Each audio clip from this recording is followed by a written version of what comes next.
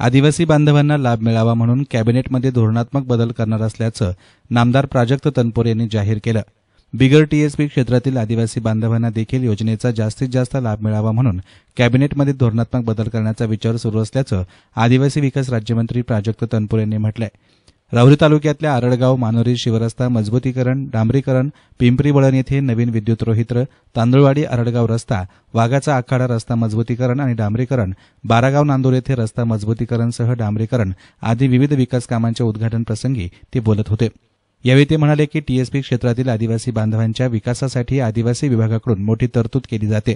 ज्या ठिकाणी मोठ्या पाड्या वस्तीने आदिवासी बांधव राहतात त्याच ठिकाणी हे क्षेत्र लागू केले जातात. त्यामुळे जास्तीत जास्त लाभ याच भागात आदिवासी योजनेमधून केला जातो. अहमदनगर जिल्ह्यातले अकोले आणि संगमनेर हा भाग टीएसपी क्षेत्र आहे. तर राहुरी नेवासा अहमदनगर श्रीरामपूरसह महाराष्ट्रातील इतर तालुक्यांमध्ये पंचावन्न टक्के आदिवासी राहत असून मात्र त्या ठिकाणी बिगर टीएसपी क्षेत्र असल्यानं आदिवासी बांधवांच्या वैयक्तिक योजना सोडून इतर भरीव योजनांचा लाभ मिळत नाही. त्यामुळे सर्व क्षेत्रातील आदिवासी बांधवांना या योजनेचा लाभ मिळावा यासाठी कॅबिनेटच्या बैठकीमध्ये धोरणात्मक बदल करण्याचा विचार सुरू असल्याचं याप्रसंगी राज्यमंत्री तनपूर यांनी सांगितलंय.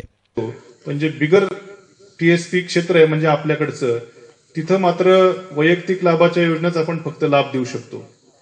आणि म्हणून मी आमच्या कॅबिनेट मंत्री महोदयांना सांगितलं की आपल्याकडे टीएसपी भागामध्ये जवळपास पंचेचाळीस टक्के आदिवासी राहतात पण बिगर टीएसपी भागामध्ये विखुरलेल्या ह्याच्यामध्ये पंचावन्न टक्के आदिवासी राज्यामध्ये राहतात. आणि त्यांना देखील आपण ह्या कामाकरता निधी देण्याकरता काहीतरी धोरणात्मक बदल केला पाहिजे. अशा प्रकारचं एक काम त्या ठिकाणी करायचा माझा प्रयत्न चालू आहे.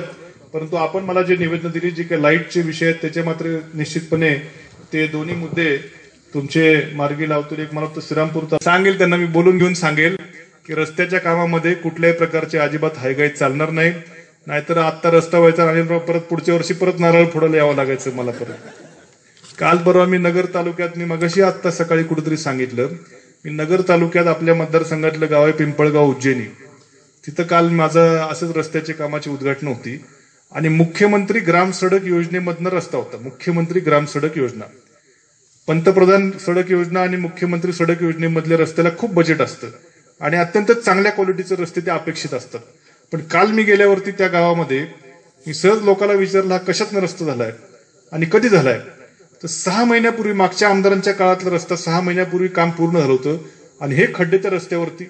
म्हणलं अरे मुख्यमंत्री हा तर म्हणलं ग्रामपंचायतनी स्वतःच्या फंडमधनं केल्यासारखा रस्ता वाटतो म्हणलं. मी तात्काळ त्या ठिकाणी अधिकाऱ्यांना फोन लावला एक्झिक्युटिव्ह इंजिनियरला म्हटलं मला म्हटलं पंधरा वीस दिवसामध्ये हा रस्ता नीट करून पाहिजे म्हटलं. नाही तर शाखा अभियंता निलंबित झाला म्हणून समजा. संध्याकाळी शाखा अभियंता मला दुसऱ्या गावात भेटायला आले. त्यांनी मला सांगितलं की पंधरा दिवसात व्यवस्थित सगळे खड्डे बिड्डे हे करून व्यवस्थित करून देतो म्हणून. आणि म्हणून मागं नुसतं नाही तर पैसे आणणं म्हणजे जोक नाही. पैसे एक तर मिळता मिळता मिळत नाहीत. एक तर रस्त्याचा बॅकलॉग इतका. आणि म्हणून अधिकारी आता इथं कुठं असतील तर समजून घ्या. ह्याच्याकरता या रस्त्याच्या कामाकरता मला भेटायला अजिबात येण्याची काही गरज नाही. मला भेटायला म्हणजे त्याच्यामध्ये त्या ठिकाणी त्यातल्या ठिकाणी मला भेटायला याची गरज नाही. एक वेळ तुम्ही रस्त्याच्या कामावरती तिथं थांबा. मला अजिबात काय कोण ठेकेदार ते देखील मला माहीत नाही. आणि मग ते सगळे जे काय असतील टक्केवारी उरलेली असेल ती सगळी रस्त्यात चार खडी जास्त वापरा.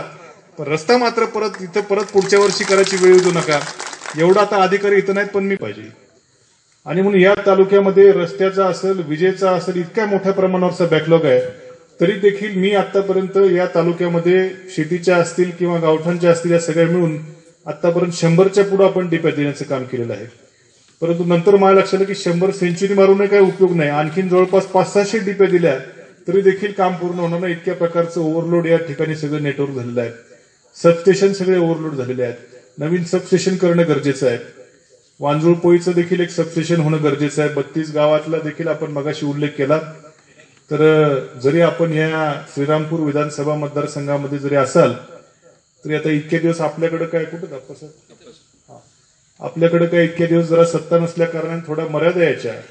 आणि आम्ही जरी आलो तरी खूपसं काय काय नसायचं हातामध्ये नगरपालिका सोडली तर काय नव्हतं त्याच्यामुळे काय करायला मर्यादा होत्या. त्यामुळे आता मात्र या सत्तेच्या न्यूज रिपोर्टर गोविंद फुनगे एसनान मीडिया राहुरी.